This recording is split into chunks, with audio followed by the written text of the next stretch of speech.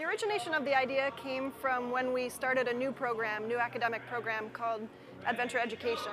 Not many high school students would recognize what that means, so we wanted to be able to expose them to that early in their career exploration process so they may be interested in that and, pursuing that as a major. We also wanted to highlight um, what we do at Springfield College, some of our strengths in health and physical activity and sport and physical education.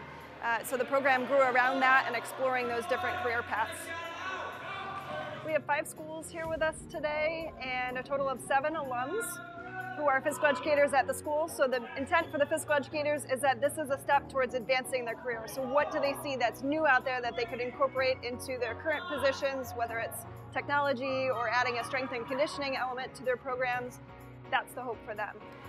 When I just introduced Matt LaCroix, who's a graduate of one of the high schools who's here, one of the things that I mentioned was his career exploration process. So for a high school student to see what a college student went through and to feel like, oh, it's okay that I don't know exactly what I want to do right now, here's how I can explore, it provides them a role model, somebody to look up to, somebody that they can talk to. We have excellent students here who we want to show off as one of the best features of Springfield College, so that's the other side of that.